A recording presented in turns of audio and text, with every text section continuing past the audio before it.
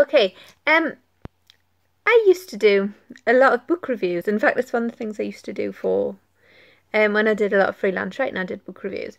And I've never done them on YouTube, so I thought we'd start. Because let's face it, this channel schedule has gone to hell anyway. So we're just going to do what we want. And this week, for my first ever one, I've been reading this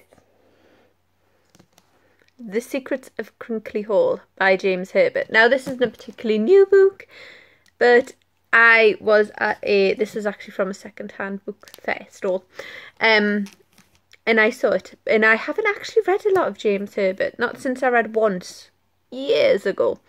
Um, and this was absolutely great. It was a very good read, generally. Um, but I mean, it's James Herbert.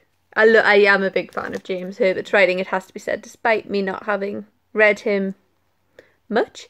Um, I really like this. It's really easy to read. It's it is very dark, um, more so than than Out once actually.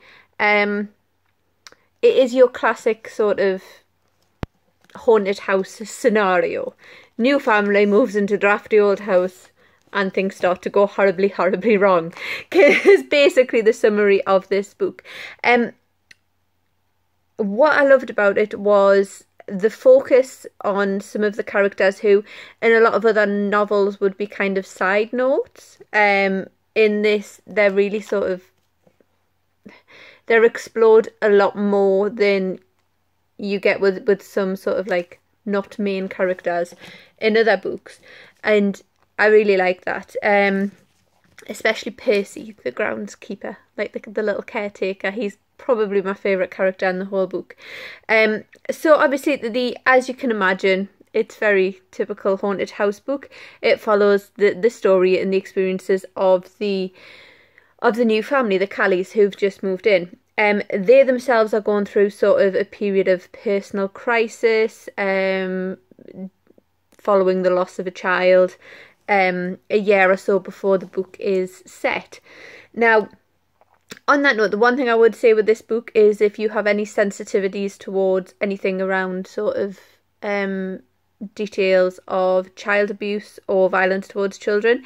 You may want to be careful reading this. You may want to exercise a little bit of caution um, because it, it it does deal with those subjects and it can be I like as a reader who doesn't have particular personal sort of experiences in that area it's a difficult read. It's an uncomfortable read. I mean it's supposed to be. That's the the point of it. But obviously if you have any sensitivities in those areas please be mindful of that. Um but if you don't don't let that put you off because it is such a good book and it deals with it so well. It deals with um different types of grief what grief can do to people. Um which is really the underlying theme here i thought when i read this book it's more about obviously it's scary. It, it's a scary book. It's cool. I like scary books, but it, it's really interesting the impact that grief and loss can have on people, and that was really covered well through this book.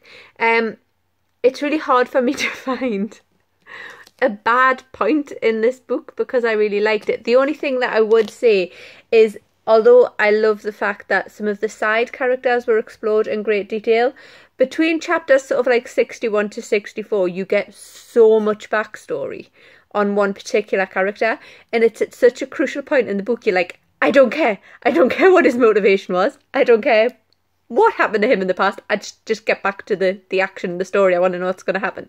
So that is the one sort of bit that I would say is a little bit of a downside but that's being quite fussy to be honest. Um, the other thing I liked about this book, my, I said my favourite character was the groundskeeper, the little sort of um, caretaker Percy. But there's there's a character in this called Lily Peel.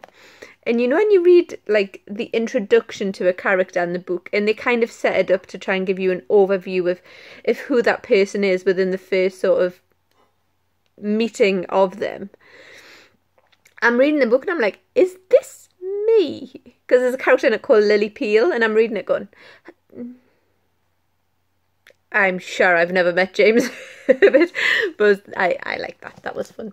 Um, and yeah, a genuinely really good book. Like I say, if you've got any issues with things like um, violence towards children, particular sensitivities, then be mindful of that. But otherwise, if you're looking for sort of like a really good, I mean, it's a chunky book. This is obviously big print, but you know, it's still a decent sized novel. Um, if you're looking for sort of like an a really classic, easy to read horror, then this is, you know, you can't really go past this. And it's so hard for, you know, the classic haunted house novel has been done and done and done and done again and done some more. So it's really hard to kind of make it exciting and different and um, put thread other stories through it and themes through it to keep you engaged. But this it, it really has got so many different things. Like I said, there's the big sort of focus and sort of study of grief and loss. There's sort of love stories written through it. There's um, psychological um, sort of mind games between characters written into it. It's a really, really clever, um, very interesting book for what can be a very, very cliched type of of story and genre. So, and I think someone told me as well. There's a there's like a a BBC dramatization of it, or it might be an ITV. But there's apparently there's a TV series which I kind of want to watch, but given how creepy the book was, if I watch that, I may never sleep again.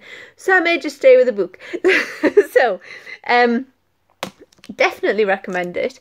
Um, if you would like to get a copy of this, I will put a link to where you can buy one directly in the comments, and I will see you next book.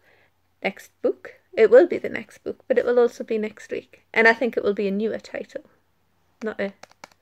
It's sort of a newer released title. Bye.